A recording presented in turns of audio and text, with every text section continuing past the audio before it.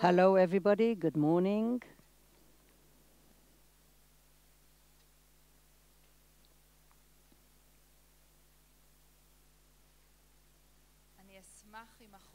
I'll be happy if everybody will be seated. I'd like to introduce the panelists. Ayman Saif, sitting next to me. Between 2008 and 18, he's the head of the Authority for Development in the Arab Society. Nasrin Haddad Haj Yihye, she's the director of the Program for Israeli-Arab Relationship. Professor Mohammad Watad, the, the Dean of the Law Department in Safed, and uh, Sawaed, uh, he is an investigator in INSS. In the next hour, we would like to discuss the dualism in the government approach towards the Arab minority in Israel on the one hand, where the government uh, does allocate uh, quite a lot of budget to promote uh, the growth of the Arab population, the five-year plan that we will discuss in 2020. On the other hand, the government and the politicians who are alienating the Arab population uh, for example, the nation law. And we will try to see how these two tracks can actually promote uh, the integration of the Arab minority in Israel, or perhaps, in fact, they lead us to another way. And I would like to start, uh, with your permission, with a personal question to each of you. What is the significance to be a citizen in the State of Israel from a personal and professional point of view from the position that you're in today. Nasreen, you're the only woman in the panel, so I'd like to start with you. Thank you, Keren. First of all, I'd like to thank INSS for inviting me. This is a place where I feel good to uh, appear, and I want to see this, say this self-evident that I love this place. I really think that uh, God uh, gave us uh, the best little acre uh, on earth. And I am working in my field because I believe that you can turn Israel to a much better place. And now to your question. How is it uh, to be an Arab uh, citizen or a Palestinian citizen in a Jewish state? As, uh, yes, but as we say, we're going to get to the but. Uh, so, as you know, possibly it's very complex, uh, very complicated to be an Arab citizen in the State of Israel. I feel that there's a dual kind of discourse with this government. On the one hand, the government tries to integrate us in the Israeli economy. On the other hand, this government now made sure to instigate against us in very many opportunities. It started with the last elections that the PM said that uh, the Arabs are uh, moving in droves uh, to the ballots. They didn't want us to realize our right to vote. That was on the one hand. But on the other hand, it continued with very problematic statements of various ministers. Two years ago, uh, somebody said where they demolished 11 uh, uh, homes in Qalansawe that our forces are uh, acting. It's very militant kind of discourse uh, relating to us as enemies. This is something that ignites uh, a red light among all of us, and we must do everything possible to change this. So the discourse is very problematic. As uh, for 922, wait, wait, wait, that's, uh, this is the personal question. I just, I just want uh, there's a very close friend of mine, Dina, sitting in the audience, and she said that personal stories are the best. So I want to tell you a personal story that tells you what it means to be a Palestinian Arab citizen in the State of Israel. I have three daughters. Carmel, 14, Hala, 10, and Eve is 3. Eight years ago, I sat to I had a conversation with my tutor who was on sabbatical in the States, and I asked my daughter, who was six years old at the time, to be quiet. And half an hour later, my daughter comes up to me and she says to me, I know why you wanted me to be quiet. And I said, uh, I said, yes, why? Why did I want you to be quiet? I wanted to concentrate on my thesis. And she said to me, No, that's not true. You're lying.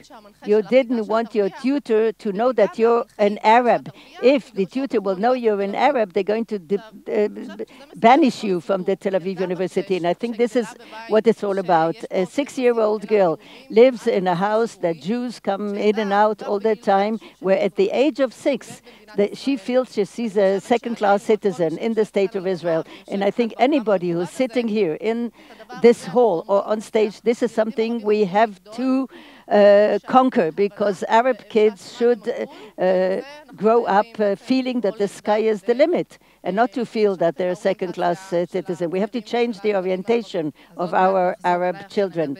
So we're going to go back to you when we talk about the five year plan, but from a personal point of view, what about you? Do you feel good morning? First of all, it's great to be part of this state, and we're talking about a very advanced country.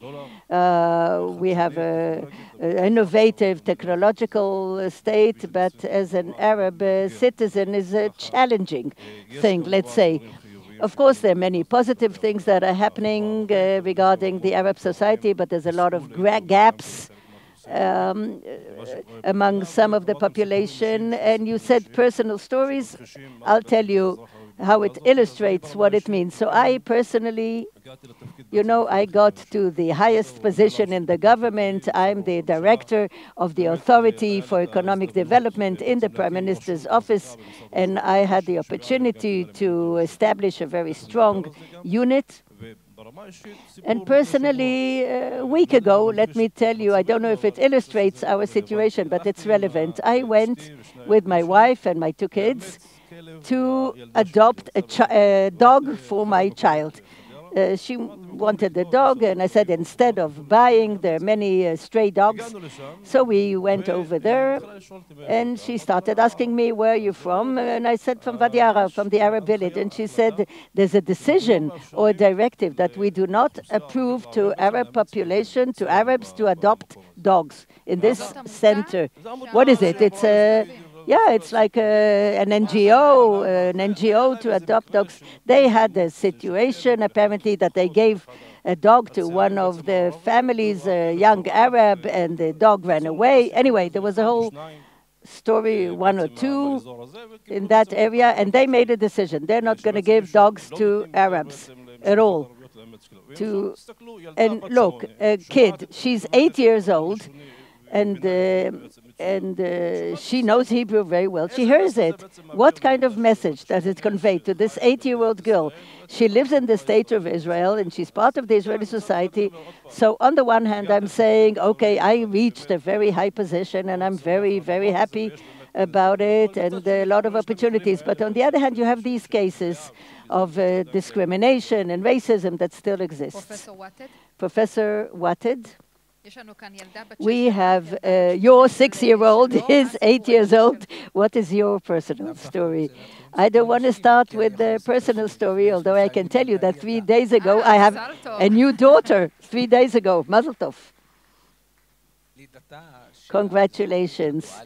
Uh, we're talking about my dual citizenship uh, as a citizen of the State of Israel and as a son of the Arab nation is an unnatural birth in circumstances, in circumstances that it was shaped. But you cannot deny the fact that I'm an Israeli citizen uh, for all intents and purposes. I speak Hebrew.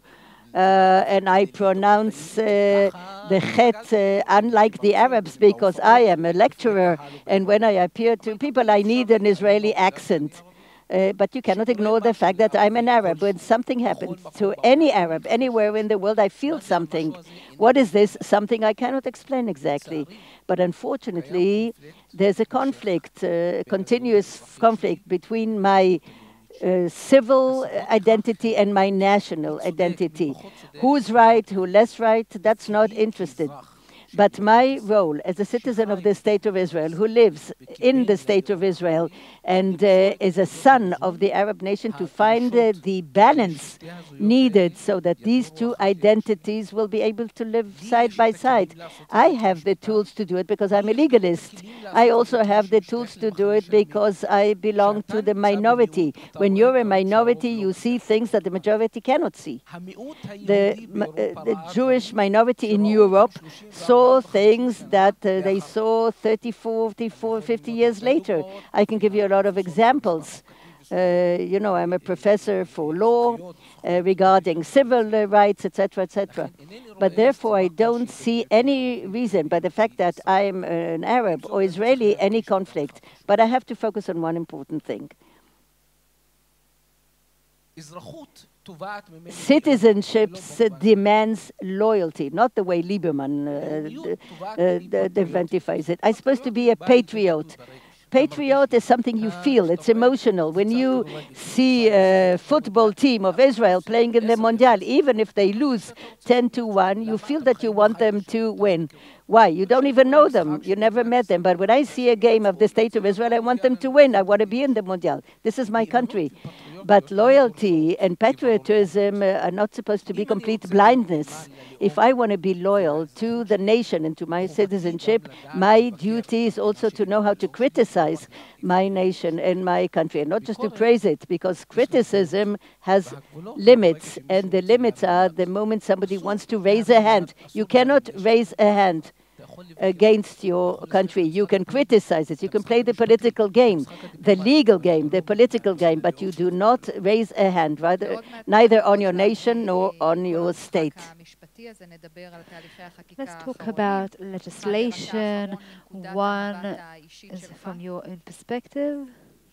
Hi, hello all. From my own perspective, well, and from the perspective of everyone in the world, I mean, being Israeli is something complex, let alone when you talk about being an Arab citizen, a minority in Israel.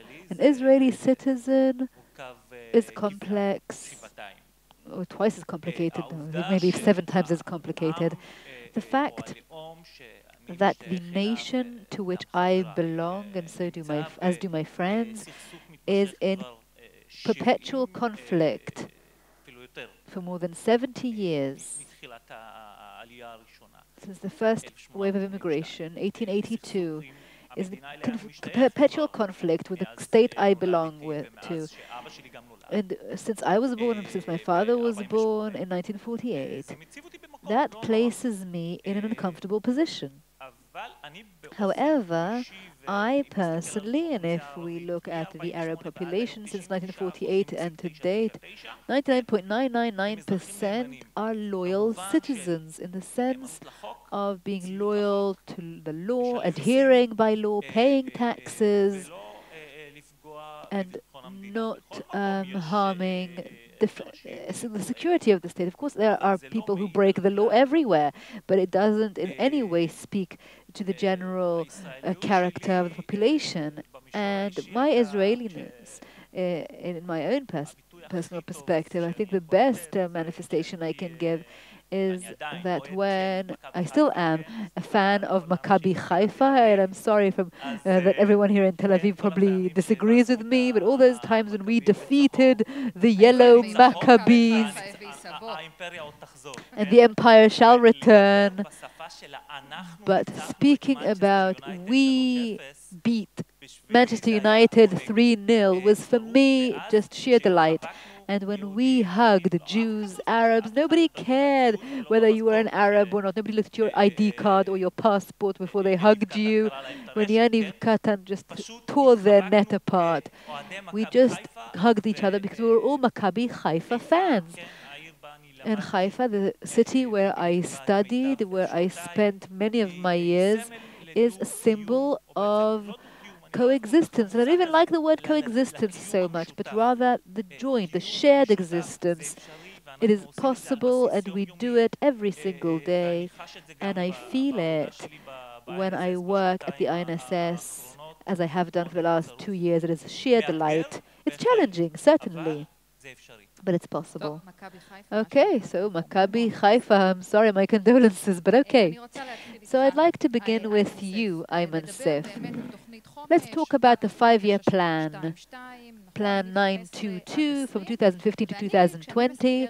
And when I review economics, every time I see these five-year plan for the Arab sector, the North plan, I ask myself two questions. First of all, I'm not impressed by the large amounts. Yes, it's between 15 and 20 million she billion shekels, but how much of it is really new money and not money that was earmarked in the budget in any case? That's one question I'd like you to answer. And the second is, if you give a budget framework, it doesn't mean it's actually put to practice because we know there is so much red tape from beginning to end that at the end of the day, in many cases, only some of this budgetary framework is actually put to practice. So let's get an insight on both of these points. How successful was the five-year plan? Where did it bring new money and so on? Okay, I will try to sort of summarize this within a few minutes to say what the government has done in the last few uh, uh years to integrate the population. Until about 10 years ago, nothing was done. And I think over the last decade, there really has been a tremendous and significant change in government policy since 2007 or 2008. I think the penny dropped for the government that if they don't integrate the Arab population, and by the way, also the ultra-Orthodox population, Israel will not be able to be one of the most developed countries in terms of GDP and so on. So it doesn't matter if you like the Arabs or you don't like the Arabs, if you like the ultra-Orthodox or you don't, you need to invest in these two populations and integrate them. The penny dropped around 2008, and then we began with a whole series of government resolutions. I began my capacity, my job in 2008, and then we started to really lead government resolutions between 2010 and 2015 was a billion shekel here, a billion shekel there, in employment, in transportation, in housing, in planning. We didn't do anything very significant because the money was uh, small and the Arab population's needs, and you need to remember that we need to close gaps of about 60 years until about 10 years ago. So in 2015, there really was a huge opportunity where the budget unit, there was a guy called Amir Levy, who was the head of budget in the Ministry of Finance. We got together, the two of us, and we said, let's make a big change in government policy. And we put together a report, which was the basis for 922, which showed the huge gaps between the Arab and Jewish populations in Israel. And something that's very important for you to understand, we examined the um, the different budgets in different ministries, and it's inconceivable, we discovered, only 5%. I'll give you a few examples. Only 5% in informal education goes to the Arab sector, but we're 20% of the population. Only 7% of the Ministry of Transportation budgets go to the Arab population, even though we're 20% of the population. And that is really the core of the problem. The ministries of the government in Israel don't budget the Arab sector properly. Plan 922, which was approved at the end of 2015, it was very difficult to convince the government it's a right-wing government. We sat in three government meetings in order to um, actually approve this amount, which is 15 to 20 billion. I heard terrible things about the Arab sector in these meetings. It was very difficult to sit there as an Arab Israeli citizen, but the resolution was um, made, and we have allocated about 6 billion shekels to the local authorities to implement this decision. The plan is being implemented, unlike previous plans, which, as you said, were not actually implemented. And there are two challenges. The first is that the government ministries also need to take responsibility of the implementation of these budgets. But we too, the Arab society and the local Arab authorities, also have huge responsibility to actually implement this money, these shekels that are currently in their in the local authorities um, budget. Most of it is being implemented, but any shekel that is not being put to practice, I uh, I find difficult to handle because we took such pains to make this resolution pass. And some of the local authorities in the Arab sector, 20%, maybe 25%, in some of these clauses, some of this money will go back, and we shouldn't uh, have that happen. We must say that these investments of the government have led to tremendous changes in Arab society. The employment among Arab women, I'm sure you've heard of it, is beyond 40%, like we like in television. Give me the two key points where you think there has been great progress, and the two points that you'd like to see progress in, but it hasn't happened yet. Okay, so in women's employment, we have grown from 20% to 40%. Women are much more integrated into the employment market, which is just doubling. Yes, indeed, we doubled the percentage. In higher education, we're talking about 17% of Arab students who are actually 17% of the overall percentage. There is also a very good high representation of women. Yes, 65% of Arab students are women. There is a revolution taking place within Arab society in this respect. We have really gone into high tech and public transportation. I don't know if you know, but until 2010, we didn't have public transportation in Arab villages. Now we have public transportation in almost all villages. Where did we fail? We have failed in the matter of planning and housing. We're talking about a problem with housing in the Jewish sector, but in the Arab sector, okay, well, in the Jewish sector, it's also a point. Yes, but at least we talk about it.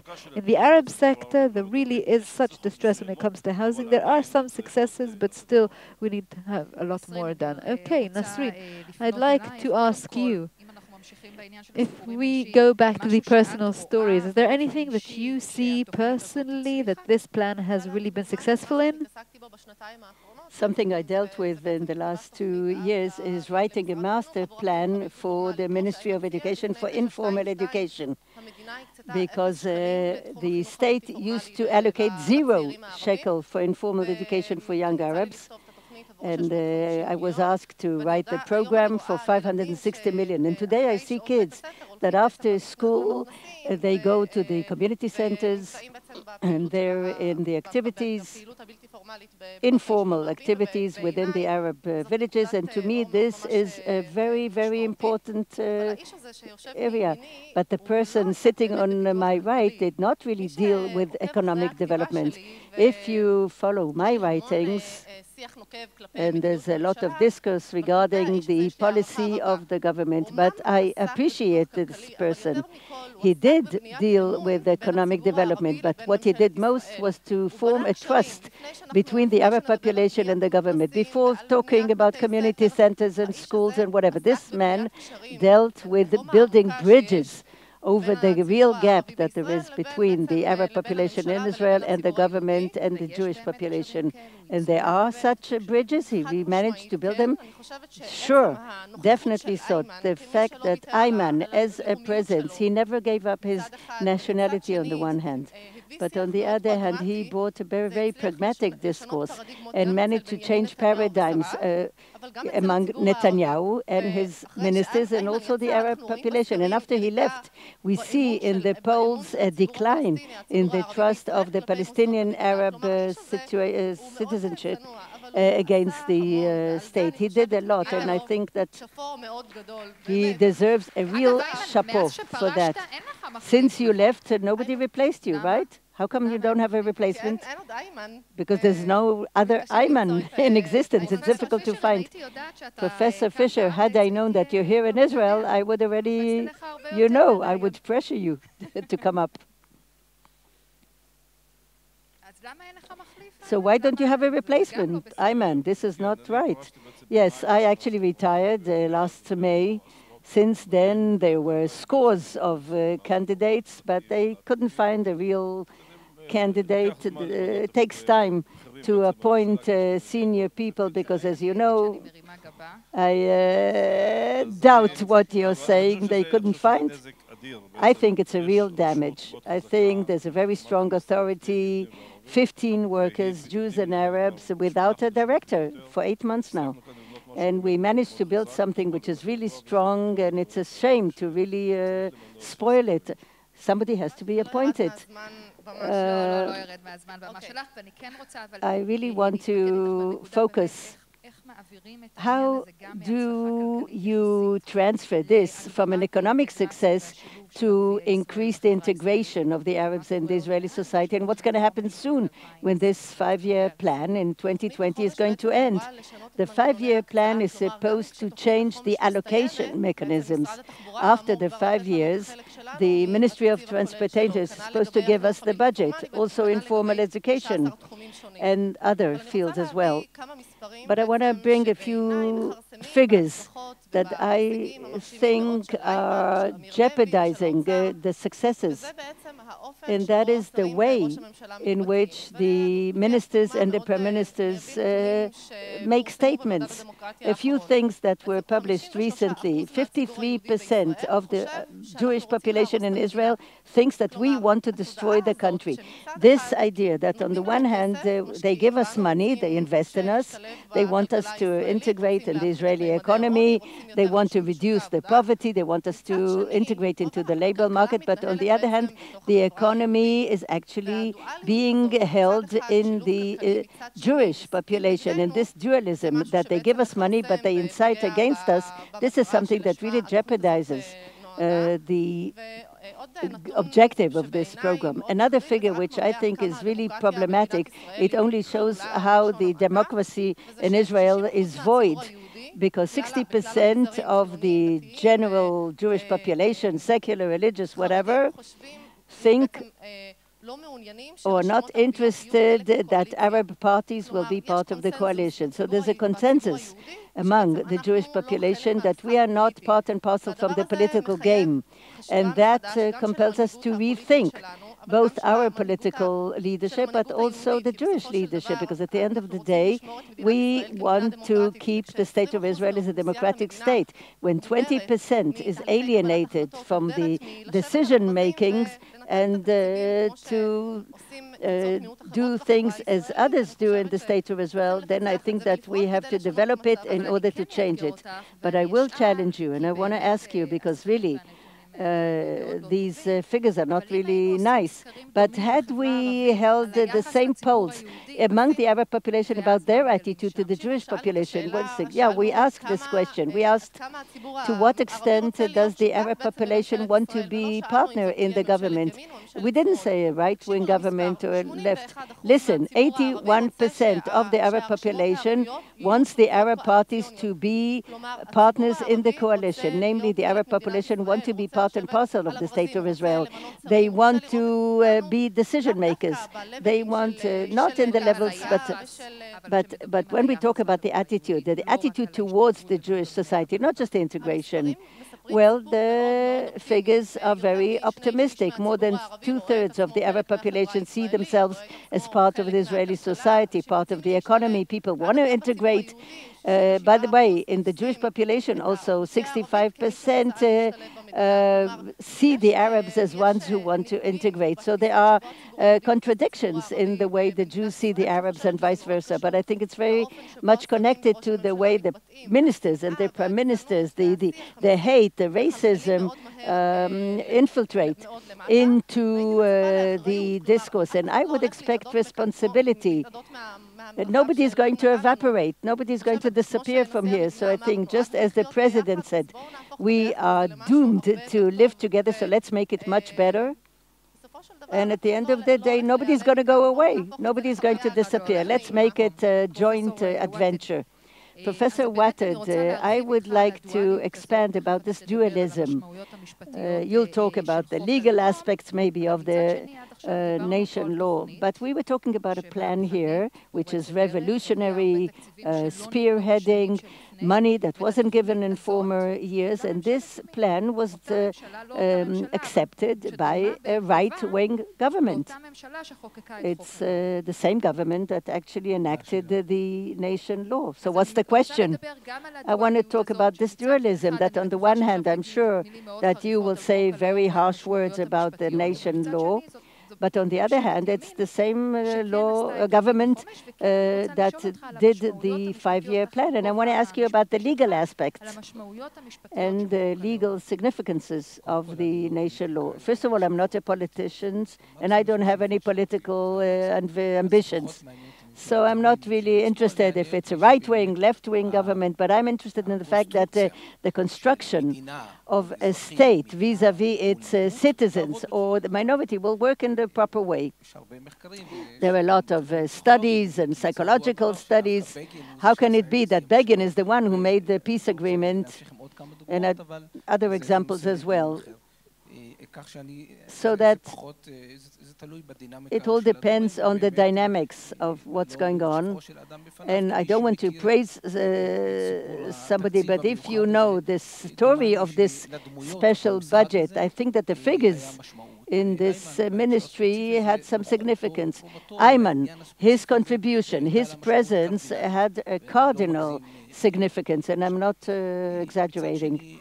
On the other hand, you have to see, you need two for tango. Uh, but they don't continue. You don't need just two loving persons for tango. You need two people who know how to dance and want to dance together.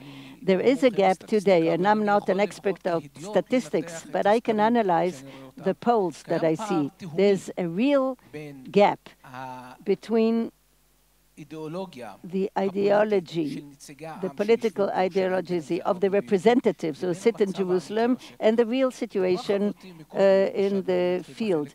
My colleague said before that 80% uh, of the Arab population support Arab parties to be part of the government, and it's correct. But the question is, how many out of these parties in the Knesset wish or want or agree to be part of the government? And the answer is no one.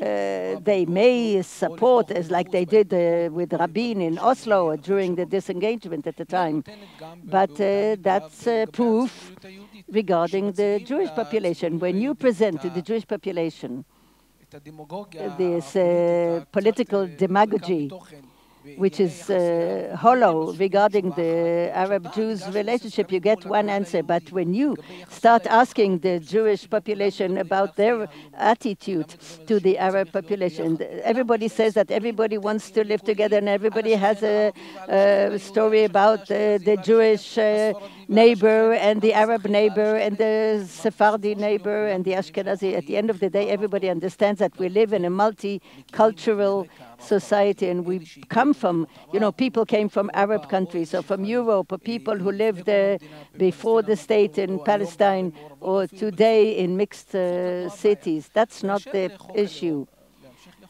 Shall I continue with the nation law or what?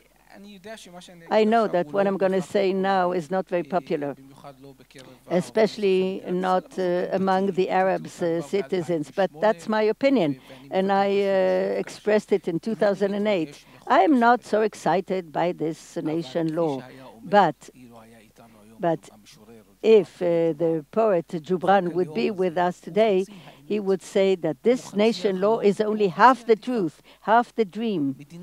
The state of Israel was established as a Jewish democratic state. I don't have a problem with this definition, but I support it wholeheartedly because the one who supports the right of the Palestinian people to have a state, an Arab and democratic state, a nation state, has to support the idea that there should be a state here which is Jewish and democratic. By the way, if we uh, take uh, the credit from another politician, I heard that Ahmed Tibi is uh, uh for a state of all its nations. Namely, you can have a state uh, where you have democratic citizenship if you, even if you belong to another nation. So what's the problem with this law? It's an interesting anecdote. The ones who criticized the Supreme Court uh, and said that, that uh, the uh, basic laws are constitutional, all of a sudden they uh, talk about uh, um, something which is completely not new. The state of Israel is a Jewish uh, state, yes. The Hebrew language is official, yes. It's part of the basic law in the legislation uh, from uh, the beginning of the state. It's like a constitution. The Arab uh, language has a special status. It's not official. First of all, it's not exactly what it says. It says that it has a special status. Then it says uh, that the status of the Arab uh, language uh, is the same as it was in the past. So it has both a, an official. So if I would sit you here in the panel with Ayelet Shaked, the Minister of Justice, no, no, no, no, no, don't run. I said in the beginning that I'm not a politician, so I'm not, uh, I don't want to talk about politicians.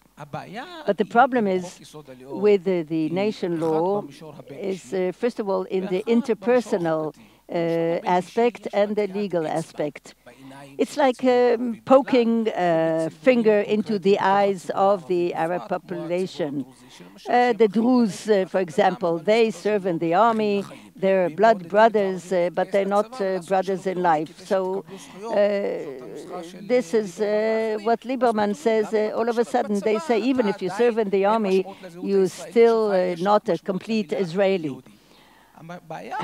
But the legal aspect is uh, stronger than that. All of a sudden, people are very uh, anxious uh, all of a sudden they have resources where in 2019 and there is not one law, not one law in the state of Israel that gives the citizens their constitutional right for freedom of expression, which they do in any Western country. Of course, we have freedom of expression, but who has it?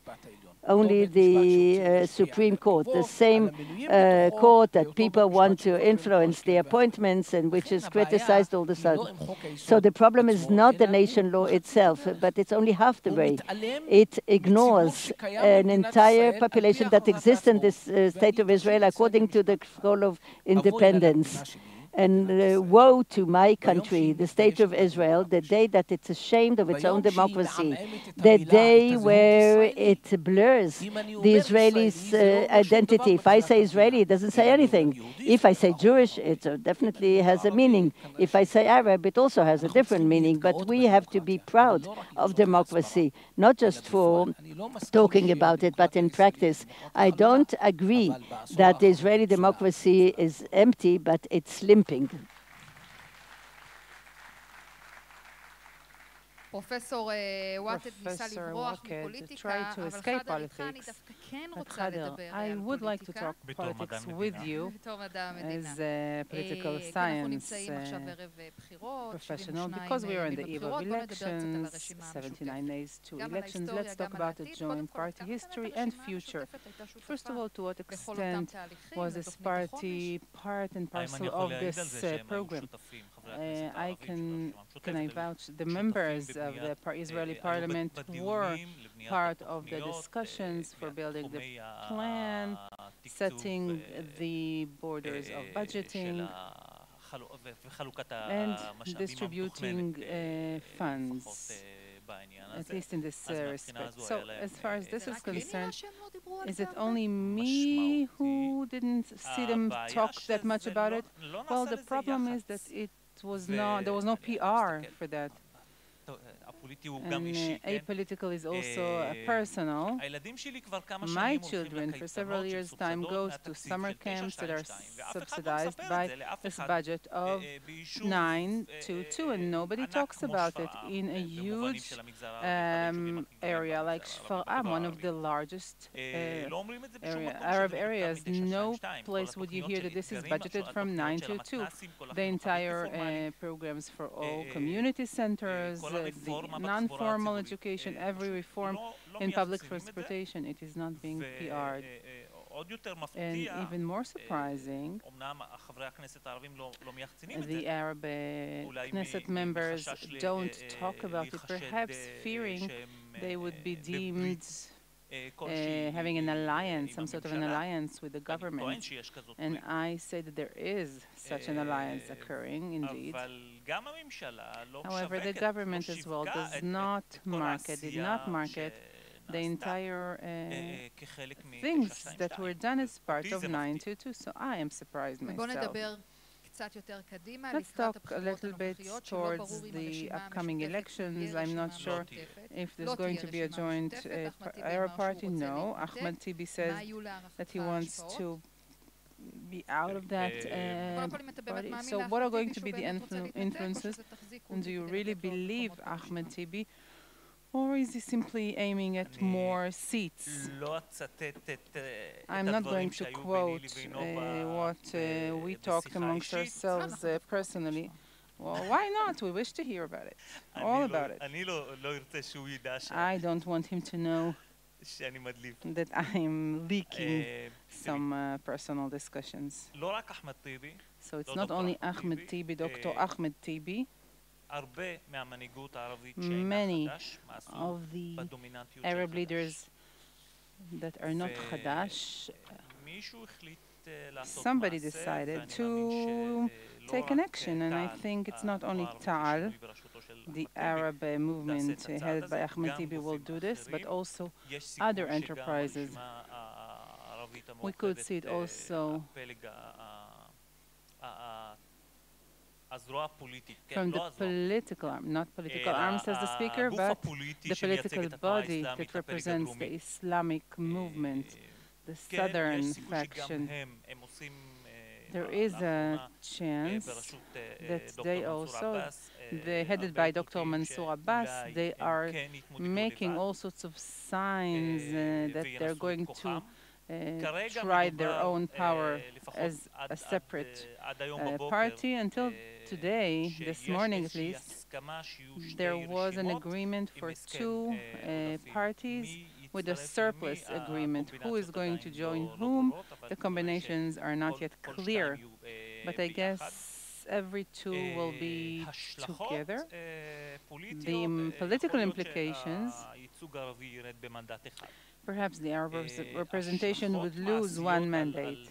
As for practical implications regarding promoting of uh, political equality and financial development, I guess this is not going to be that significant because the expectation is that the ones to win this mandate is rather the central uh, parties or left-winged and not the right-handed. According to my own estimation, it's going to go towards Meretz, uh, political party, and uh, quite a, a lot uh, uh Arab citizens would like to vote for Meretz because they have on the list uh, Esawi Frej in a secured place in the Knesset and also because of the political uh, activity that they have been doing in the last uh, parliament session.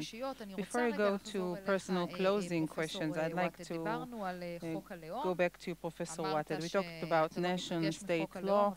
You said that uh, you're not so excited about you, but uh, I should hold before I put you together with Ayelet Shaked in the same panel.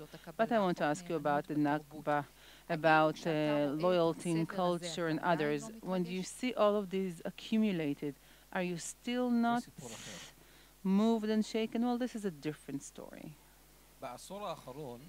In the last decade, the reins have been in the hands of politicians whose perception and understanding of democracy not only is it distorted and not the right one, but they take us back to dark ages in world history. Until Second World War, the term democracy was perceived, there's a majority, the majority won, the majority can do whatever they wish. Any law legislated by majority is a right one and a just one, simply because the majority decided upon it. Governments in this way promoted all sorts of initiatives and activities that we shouldn't mention here, particularly not in this day and event. The first lesson that occurred in the in Europe in its entirety after Second World War is that democracy is not the rule of majority, but rather how do you limit the power of the majority? Because of that, there were constitutional um, courts of law all through Europe. There was re-education for justices. You, as a judge, must make sure that minorities, not, not only national minorities, they can be gender minorities and others, you need to defend them because they don't have the power to defend themselves in the parliament. And now, on TV screens, we see senior people in the Israeli government. We were elected in order to rule, and so we can promote any law and while doing that, they are trampling over human rights. When you look at this entire legislation initiative, and I'm not talking only politics, the joint, joint the, the common denominator of all of these laws is this distorted perception, which is because the majority thinks a certain way, they can do a certain thing. This is dangerous. It's dangerous for those who run for the long haul. And when the state of Israel will have to face itself in 30 years' time, perhaps before that, and she'll say in front of the mirror, who is the fairest of them all? She won't be able to glorify itself because it is this palace in the Mediterranean jungle. It could maybe compare itself to Egypt or Turkey, and I don't want to see this coming. I want to, us to compare ourselves to enlightened European countries. And now, on a personal note, two minutes per speaker, and I'm going to be very, very strict now. What does the country, what does Israel need to do so that Arab minority feels more of a part of the social, economic, and political structure in Israel. I want to start with you, and I want you also to uh, maybe relate to what the friends have said. Maybe you didn't externalize the achievements of the five-year plan. So two things. First of all, regarding the uh, PR, we didn't do that uh, great of a job. Uh, whether there was an intention behind it or not, I'm not answering this right now, but this is the fact. We didn't really put any effort into it.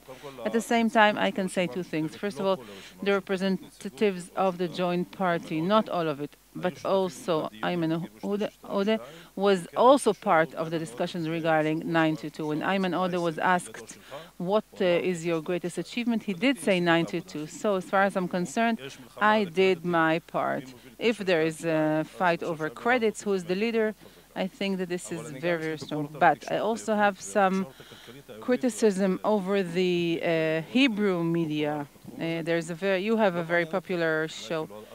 Uh, these things that we do are not interesting enough or sexy enough.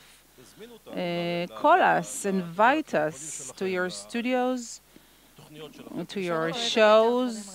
Uh, you say that uh, the TV prefers bad stuff. So we worked very hard in the past 10 years to put the issue of the integration of Arab population in Israeli economy. And I think that we managed to do it. And it is one of the leading priorities of the government. And we can see it by the budgets. There are earmarked budgets that are flowing towards Arab society are uh, invested there. At the same time, not everything is about money. We also need, as Nasreen said, we need politicians to talk for this uh, integration. You cannot give uh, one million shekel on the one hand, on the other hand, uh, institute laws that are going to uh, have the Arab population out of the entire society. It harms our efforts to try and incorporate Arab population within the Israeli economy. And so uh, budgets are very important, but we also need public support. And the last thing that I would say here, we must change the dialogue. We are, we the Arab society are not poor. You're not doing us any favors. We are an asset to the state of Israel. And this is how you should uh, consider us, relate to us, to our young people. I talked to uh, this morning 30% of students in the Israeli Technion are Arabs. We have a huge human resource, human capital. We want to be integrated in this uh, state, and we want the, popu the population wants it, and we need to allow them to do it. Look at it as an asset, not as a burden. It has great potential for contribution for promoting the state of Israel. Okay, you're out of time, Nasreen. So I'll try to be very succinct changing discourse, changing discourse, and changing discourse. I really believe and I prefer 10 billion shekels less, but I want honor. We want to feel that we're being respected, that we're being welcome in our own home, in our own uh, homeland. Uh, the government's decision regarding representation in the public sector, uh, they already managed to achieve it in 2012. And since then, that's it.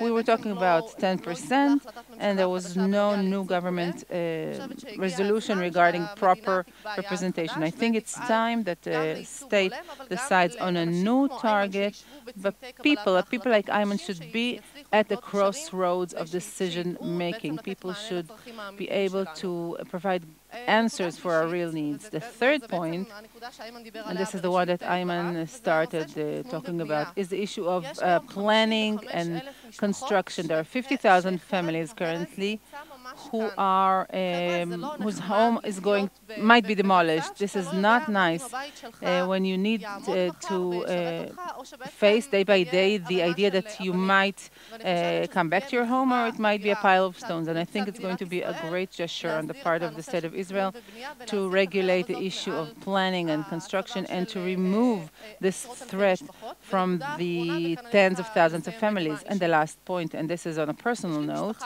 I have a family in Gaza. I have a family who lives in Jabalia, the refugee camp. I have a family in Hebron. I'm part of the Palestinian people and I'm an Israeli citizen. So these two identities do not clash. I think that the two identities complement each other. And I think that the dispute, and you cannot disregard this elephant in the room, the mere fact that my state is in uh, a dispute with my families, with my people, is something we have to put a stop to. We cannot disregard it, and we cannot continue managing this uh, dispute. It's ultimately it's going to bring ruin to the state of Israel. And so, I think that in order for us to be able to talk about uh, immigration and uh, social mobility, and the fact that people can sit here and not say, I talked to someone from an Arab state, but they will say it uh, proudly and we can be the bridge between the state of Israel and the Arab world and the Muslim world in the Middle East. And so we can be utilized. We can be this bridge, and I offer my country to do the right thing and to end this uh, dispute, to stop managing it, and then life would seem a lot better. This is cha the challenge of challenges, Khader.